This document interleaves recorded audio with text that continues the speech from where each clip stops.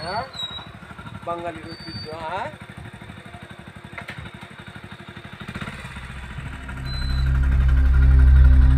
এখান থেকে মাত্র দুশো গজ সামনেই রয়েছে শায়েস্তা খাঁর আমলে নির্মিত আরেকটি প্রত্নতাত্ত্বিক নিদর্শন, শাহ মাহমুদ মসজিদ। আমরা এই নিদর্শনের চারিদিক ঘুরে ঘুরে দেখব। আশা করি সেই পর্যন্ত সবাই সাথে থাকবেন।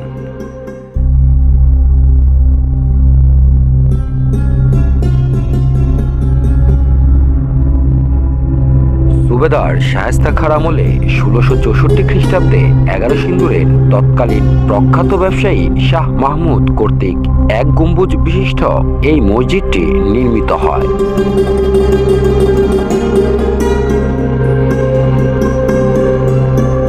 চারদিকে বেষ্টনী প্রাচীর।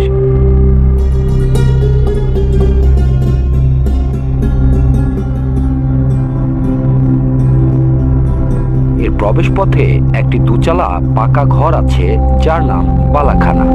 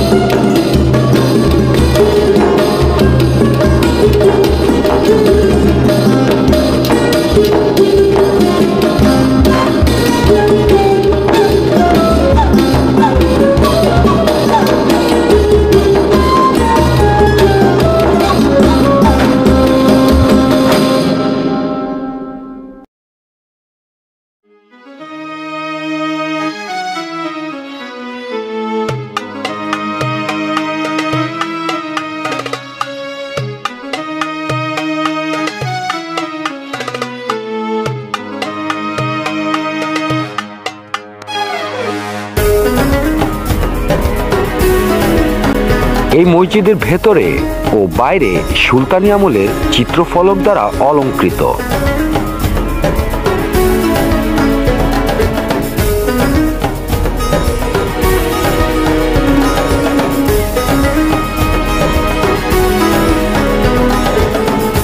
বর্গাকৃতির নির্মাণ শৈলীর অধিকারী এক গম্বুজ বিশিষ্ট এ মসজিদের গম্বুজটি সবচেয়ে সুন্দর। মসজিদের চার কোনায় চারটি আট কোণাকৃতি মিনার রয়েছে, যা মসজিদের সৌন্দর্যকে আরও বাড়িয়ে দিয়েছে।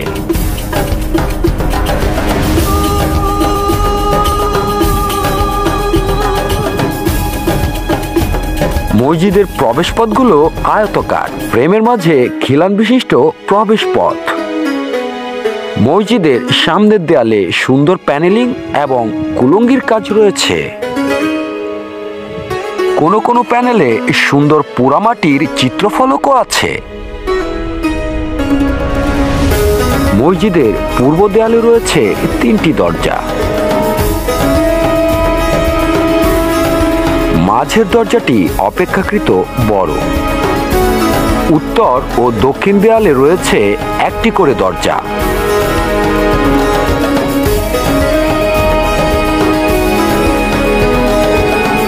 সামনের দরজাগুলোর ঠিক বিপরীত দিকে রয়েছে তিনটি মেহরাব। মাঝের মেহরাবটি বেশ বড়। পোড়ামাটির চিত্রফলক বিশিষ্ট মেহরাবগুলো মসজিদের সৌন্দর্যকে বহুলাংশে বৃদ্ধি করেছে।